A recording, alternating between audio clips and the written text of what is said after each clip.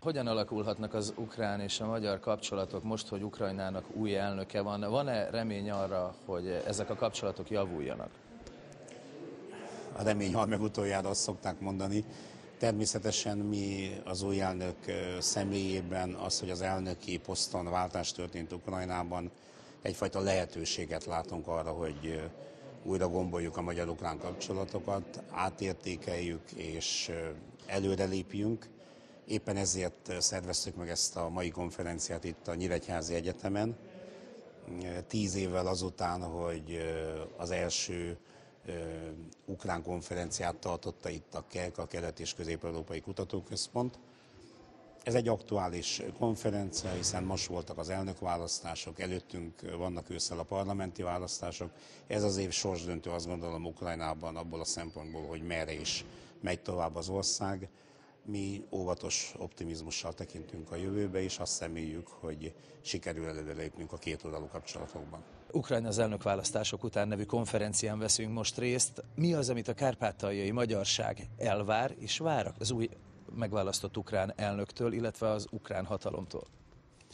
Hát abban reménykedünk, hogy nem csak elnökváltás, de rendszerváltás is történik, az az a politika, az a gazdaságpolitika, az a külpolitika és az a kisebbségi politika, ami Ukrajnában folyt az elmúlt időkben, az megszűnik, és valami teljesen más, új, számunkra kedvező politika következik. Mit jelent ez? Mindenképpen elvárjuk, hogy a háború befejeződjön, békés úton, tárgyalás úton, és Ukrajnában győzön a béke háború fölött, mert ameddig nem lesz béke, addig minden más eh, reményünk eh, csak füst szerte foszlik, mert eh, nem megvalósítható. Gazdasági, gazdasági irányváltás szükséges. Azaz abból, hogy mi kölcsönökből élünk meg, amely kölcsönök egy jelentős része úgy eltűnik, hogy nem látja senki, hogy hová lesz, és végül is nem látunk belőle semmilyen gazdaságfejlesztési projekteket, programokat, meg amúgy is gazdaságfejlesztés az országban új munkahelyteremtést, ehhez szükséges a saját gazdaságnak a megerősítése. Valahogy, és reméljük, hogy az új elnök lesz, az rá kell venni az oligarchákat, akik lehet, tehetősek, lehetőségük van erre, hogy a saját bevételeiket ezután ne külföldi bankokba, offshore cégekbe, meg ingatlanokba fektessék be, hanem itt a saját nemzeti gazdaságba, gyárakat, üzemeket építve, utakat építve, ezáltal új munkahelyeket teremtve, és ezáltal felfejleszték a saját gazdaságot. Le kell mondani, úgy, ahogy Magyarország 2010-ben lemondott az IMF hitelekről, le kell mondani ezeknek a hiteleknek a további folyósításáról, mert az ország eladósodását.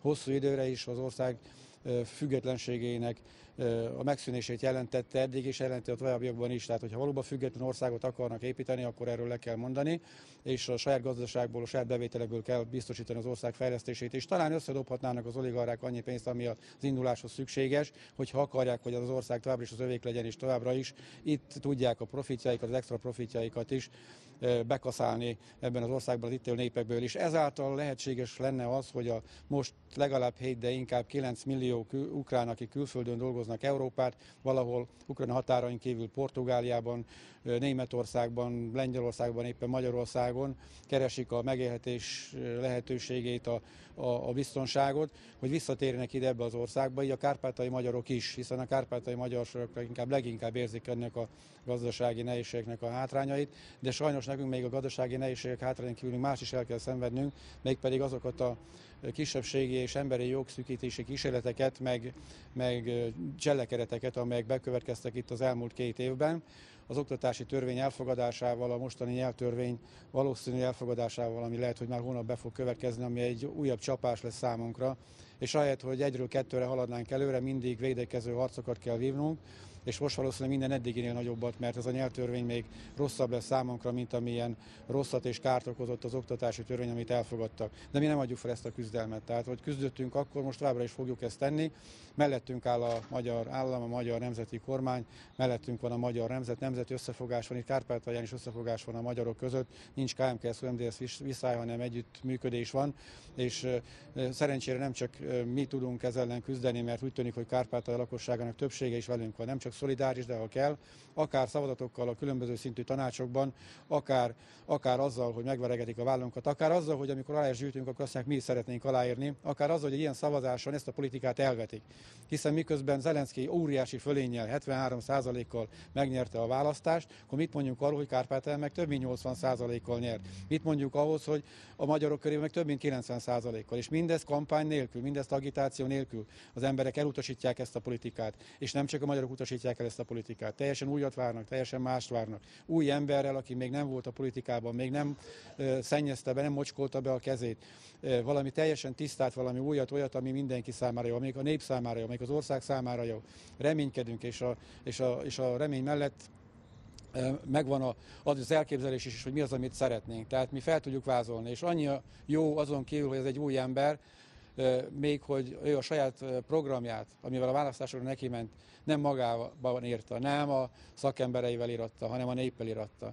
Tehát úgymond a nép akarata, mit szeretnének, hogy képzelik el a jövőt. És persze ilyen dolgokban leginkább a fiatalság vesz részt, hiszen ez az ország, hogyha megmarad, hogyha egyben marad, akkor nyilvánvalóan a fiataloké az új generációi lesz. Nekik kell ezt az új világot, ezt az új rendet felépíteni, egy olyan országot, amelyben valóban lehet élni, amelyben lehet élni nem csak ukránoknak, hanem többi nemzetiségeknek is, és komfortosan tudják magukat érezni, mint kisebbség, és emberi módon lehet megélni, nem kellene elmenekülni, nem kellene elszökni, hanem ide vissza lehet térni. Hogy számunkra is kedvező legyen van egy csomó bizalom, van egy csomó remény, hogy mi fog ebből beválni, mert ez mind kérdőjel. Tehát egy sor kérdőjel van. Nyilván lesznek, akik ezzel ellen a változások ellen fognak majd mindenütt tenni, ahol csak tudnak, hiszen érdekeltek lennek abban, hogy minden úgy legyen, mint eddig volt. Mindig vannak ilyenek és lesznek. Az a kérdés, hogy lesz az elnöknek elég ereje és akarata, és lesz egy olyan csapat, ami ezt meg tudja csinálni. Egyelőre a társadalmi támogatás megvan, de hát tudjuk, hogy mikor történt ez a választás. Éppen a právoszláv virágvasárnap idején, amikor ugye Ukrajnában a választó polgárok nagy többsége azt kiabálta, hogy hozsánna néked Zelenszky, de azt is tudjuk, hogy mi következett virágvasárnap után pár nappal, amikor már, mind, már mindenki feszíts meget kiáltott. Reméljük, hogy ez nem így lesz, hogy ez ellen, hogy, hogy nem pár hét, pár hónap, esetleg pár év múlva már mindenki feszíts meget fog kiáltani, mert a várakozások nem teljesülnek. Nem lesz könnyű dolga. Megnyerni könnyű volt. Viszonylag nem is fektetett sok pénzt, meg erőt be, hogy megnyerje, de hogy megvalósítsa azt, amit kell, a szinte emberfeletti kitartást, erőt igényel, meglátjuk, hogy van-e ez benne, van-e benne annyi kurázsi, van-e benne annyi ész, van-e benne annyi bölcsesség, és képes arra, hogy magát körül egy olyan bátor, hozzáértő hazafiakkal, akik ezt a programot meg tudja valósítani, és hogy ez hozzá, hogy áll majd hozzá, hogy állnak hozzá a világhatalmak, meg tudja teremteni a békét, leül tárgyalni valóban az orosz elnökkel, mindazokkal, akikkel kell a béke érdekében, ha kell letérdepel előtte, hogy mondta, feladva a büszkeségét, keresztül tudja vinni az, az, az akaratát az oligarchákon, és azokat is begyűrni abba, hogy tessék akkor ezt az országot megmenteni és áldozni ezért valamit, hogy hosszú távon majd újra tudjatok tovább gazdagodni képes lesz-e a népet továbbra is ilyen lelkesen maga mögé gyűjtve, tudva vinni a politikát, amit szeretne. Mi végül is érdekeltek vagyunk a békében, érdekeltek vagyunk a változásban, és mindenképpen érdekeltek vagyunk abban, hogy a kisebbségi politika teljesen megváltozzon. Hogy mi itt visszakapjuk a jogainkat az anyanyelvvel oktatásra, és megőrizzük ezt a jogot, hogy mi itt visszakapjuk és megőrizzük a jogainkat az anyanyelvünk használatára az élet a társadalomért minden területén hogy mi itt kisebbségként, magyarként megélhessük Kárpátalján az életünket úgy, legalább, mint eddig, de lehet még jobban, hogy valóban egyről kettőre jussunk, és nem mindig védekező háborút, meg állóháborút kelljen vinni a már megszerzett jogokért és lehetőségeinkért mellettünk áll magyar állam, a támogatásokat továbbra is biztosítja, ezek szükségesek ahhoz, hogy egy új élet lehetőségét meg tudjuk teremteni, és végül is a kárpátai magyarság nagy része több, többsége még szülőföldön marad, és én úgy gondolom, és úgy tudom, és azokból, amit hallok, szinte biztosra veszem, hogy ott is akar maradni. És hogyha ott maradunk, és megmaradunk, és mindez bekörkedik, amit elmondtam, akkor van remény arra is, hogy nagyon sokan visszatérnek, hisz Kárpátai egy gyönyörű szép vidék, a világon az egyik legszebb hely, szerintem a legszebb, és hogyha egy, úgy, egy, egy más országban fogunk élni, akkor itt még egy élhető élet lesz, ebben bizunk, ebben reménykedünk, ezért mi is teszünk majd. Ez a fórum erről szólt, hogy ezt kibeszéljük, elmondjuk, és egymást is erősítsük abban, hogy igenis ez mind reális lehetőség, csak kérdés, hogy valóra válik-e.